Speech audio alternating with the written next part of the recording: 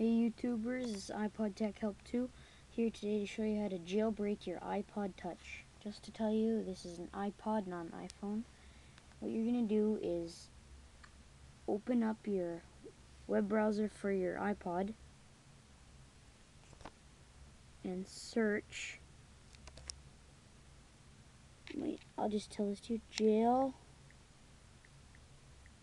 break me com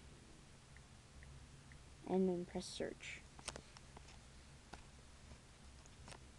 And you should find these lists of um, websites.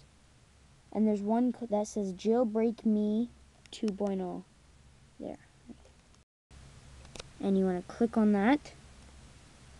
And it shows this. It says Jailbreak Me by Com comex. You might see that.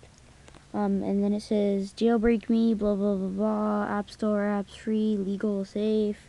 And then what you're to do is press slide to jailbreak. I already done have done it, and if I do twice, it might um, wreck my iPod. So once you slide it, it basically, yeah, see?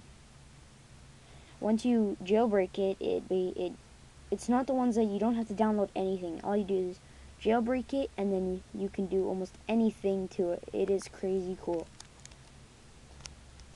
See you guys.